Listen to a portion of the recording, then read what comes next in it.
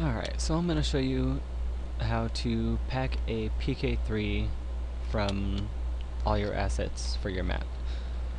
Uh, first thing you'll have to do is make a new zip archive. It cannot be a RAR archive, it has to be a .zip archive. Um, then you name it the name of your map. Mine is UT4 Castles UM5T2.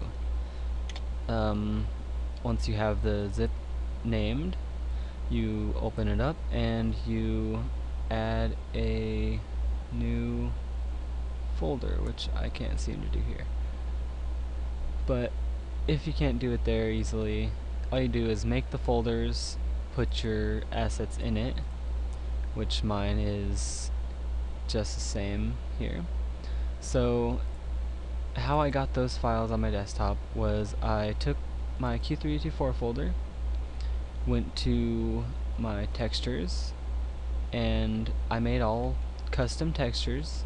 So I put them in my own folder in the textures folder in the Q384. I grabbed all those, threw them in the textures folder I put on my desktop, then I went and grabbed the script that I used and I threw that in there. Same with my level shots, I made a level shot and placed that in there. And after that, what you have to do after you have all your map, your BSP, and the TGA here is the minimap.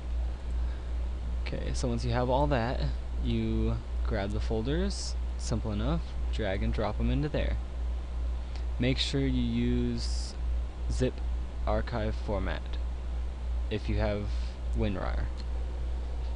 Okay, them. Shouldn't take long.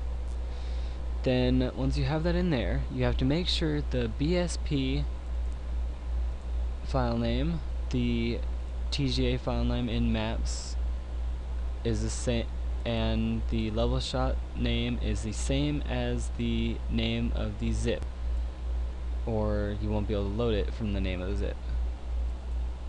Once you have all your stuff in there, that's basically it. All you gotta do is rename the zip to a PK3.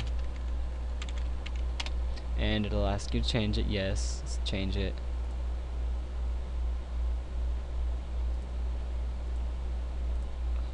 Oh, okay.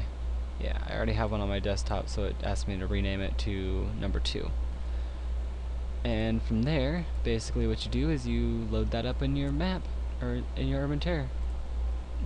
Alright so next I'll actually show you how to compile a map